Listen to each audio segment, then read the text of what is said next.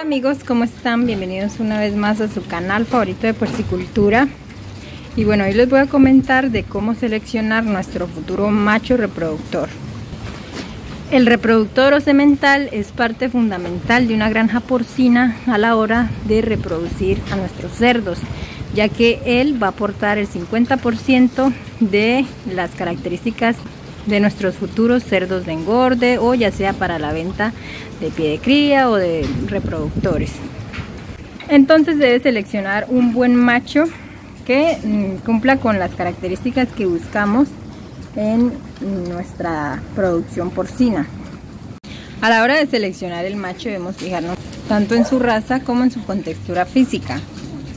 Hablando un poco de las razas, ya les he nombrado en varios videos que existe la línea cárnica y la línea maternal.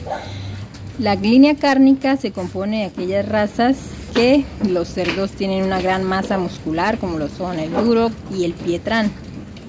Y la línea materna se compone de unas razas que son muy buenas madres, buenas productoras de leche y buenas, eh, dan buen número de camadas, pero eh, tienen la deficiencia de que a la hora de producir carne son un poco bajas. Al igual que la línea de carne que pues producen bastante carne, tienen una muy buena contextura física, pero a la hora de la reproducción muchas veces dan un número muy pequeño de lechones o no dan buena leche sus hembras. Entonces, pues por esta razón se hacen cruces y obtenemos los cerdos llamados F1 por ejemplo, este machito, que es el primero que tenemos en nuestra granja, yo ya les he mostrado videos de él anteriormente. Él es un cerdito que trajimos de una granja, su raza o cruce genético, él es un F1, tiene una mezcla de pietrán con landras. Es evidente ya que el pietrán pues, es característico por su, por su contextura física, su masa muscular prominente, buenos, buenos jamones, buenos lomos, y además pues del color, ¿no? Ellos son típicamente tienen esos lunares grandes. Además tiene la raza Landras, que son cerdos de línea materna, muy buenos, eh, muy buenas madres, son cerdos largos, de orejas caídas, como ven. Creo que en un video anterior yo les dije que él era, creo que la, eh, tenía white, pero pues no, yo me equivoqué, estaba confundida, o sea, como estaba hablando de estas cerditas, pues me enredé y terminé diciendo que él también era larg white, pero no.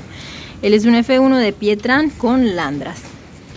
Muchas granjas eh, prefieren o les gusta manejar animales puros, de raza pura. Y bueno, eso es una muy buena opción, dependiendo, como ya les digo, de la finalidad de nuestra granja. Si nosotros nos dedicamos a vender reproductores que mm, requieran de una alta genética, pues eh, lo ideal sí sería tener razas puras.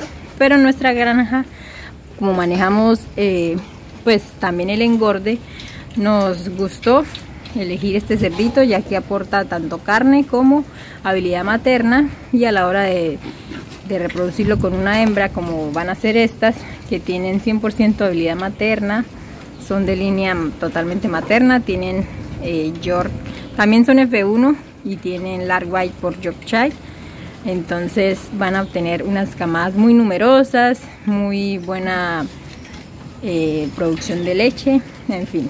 Bueno eso en cuanto a la raza no una vez ya nos definimos por una raza de cerdos ya debemos seleccionar el cerdo en específico debemos darnos cuenta de que el macho desde bien pequeño demuestre sus cualidades como por ejemplo que tenga una buena contextura física, buenos aplomos. Los aplomos hace referencia a la pisada que tiene el animal. Que sea una buena pisada, que no vayan a haber cojeras o dificultades en sus pezuñas porque eso pues va a dificultar a la hora de tanto de su vida normal como a la hora de la monta. También debe ser un macho que eh, demuestre sus cualidades de macho, tenga unos buenos jamones, una espalda fuerte, unos hombros también muy gruesos, fuertes, el cuello que sea fuerte, la cabeza pequeña y no olvidar la parte reproductiva. Los testículos deben estar bien conformados, lógicamente que no vaya a estar herniado o que sea ciclán, es decir, que tenga un solo testículo o bueno, cualquier deformidad en cuanto a la parte reproductiva, pues evidentemente no es lo ideal. También nos debemos fijar, a pesar de que él es macho, él pasa todo su material genético a sus hijos, entonces debemos fijarnos en sus tetillas este cerdito tiene creo que 7, 2, 4, 6, 7. 7 pares de tetillas. Y esto es un muy buen número porque en realidad pues son 14 eh, tetillas. Todas estas características se las va a pasar a sus hijos a la hora de reproducirlo. Nuestro cerdito tiene actualmente 3 meses de vida, es todavía un bebé. Ellos entran en su edad reproductiva de los 6 meses en adelante. Entonces eh, todavía falta un buen recorrido con este señor. Tenemos muy buenas expectativas para él y sus futuras novias. Machos se empiezan a madurar sexualmente a partir de los seis meses de vida. Ellos empiezan a intentar montar, bueno ya saben, molestar a las hembras, aunque ellos lo hacen desde bien pequeños. Pero en sí ellos están aptos para reproducirse de los 8, 9 meses en adelante mismo se le debe dar una muy buena alimentación, nunca le debe faltar alimento para que él se desarrolle correctamente toda su estructura, sus órganos y bueno, lo que ya sabemos. Como ya les dije también en otro video, se les deben aplicar sus vacunas correspondientes. Ya saben, las básicas que son la micoplasma, el circovirus y la peste porcina clásica. Y adicionalmente las vacunas reproductivas que se ponen eh, a los 5 meses de vida y de ahí en adelante se le refuerza cada seis meses. Las vacunas reproductivas, como ya se las he nombrado, son la erisipela, la leptospira y el parvovirus. Las vacunas, esa vacuna normalmente viene tres en una o también le llaman la triple y pues como ya les digo es una vacuna reproductiva que les va a ayudar o va a prevenir que les den ciertas enfermedades que afectan a la hora de la reproducción tanto a la hembra que es la que más es afectada como al macho que también le transmite estas enfermedades. Como él aún es un bebé, como quien dice, pues puede estar en pues en grupo con hembras y con otros machos. No pasa nada porque pues él todavía no tiene ese instinto de pues como saben, un macho reproductor siempre va a pelear por sus hembras, va a empezar a quererlas montar todo el tiempo o a pelearse con otros machos. Entonces, una vez llega su edad reproductiva, o lógicamente antes debemos separarlos, dejarlos en un corral exclusivamente para los machos. Entonces ya cuando él llega a su edad reproductiva, eh, sí debe ser separado obligatoriamente para prevenir peleas o que esté molestando demasiado a las hembras. Él debe estar en su corral aparte. Las granjas donde no manejan el cerdo, no tienen cerdos reproductores, sino que compran las pajillas e inseminan a sus cerdas, ya que pues piensan o ven al macho como un gasto. Pero no, el papel del macho es sumamente importante en la granja, ya que además de obviamente reproducirse con las hembras, montarlas, hacer la monta natural, él promueve o estimula a las cerdas a que entren en celo más rápido debido a sus feromonas que suelta en su orina y moviendo a la hembra a que entre en celo más rápido.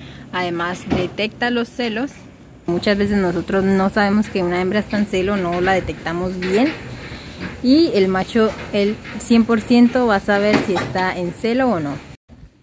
Adicionalmente, el macho también nos puede funcionar como una unidad productiva al vender su genética. Si el macho tiene una buena genética y asimismo buenas características físicas y un buen desempeño reproductivo, se puede sacar provecho de esto y generar una fuente más de ingreso en la granja al alquilar el macho para que monte a otras hembras en granjas aledañas. Esto es una práctica muy común en pequeñas granjas, aunque no es muy recomendable ya que se pueden transmitir enfermedades, pero también la otra opción es vender su semen en pajillas, las cuales podremos enviar a diferentes lugares, tanto de la ciudad como del país, o incluso enviarlas a otros países si tenemos la posibilidad. En resumen, tener un macho reproductor en la granja es muy importante. Bueno chicos, esto ha sido todo por el video de hoy hablando sobre los machos. Si tienen alguna duda me la dejan en los comentarios. Y nada, nos vemos en el próximo video. Adiós.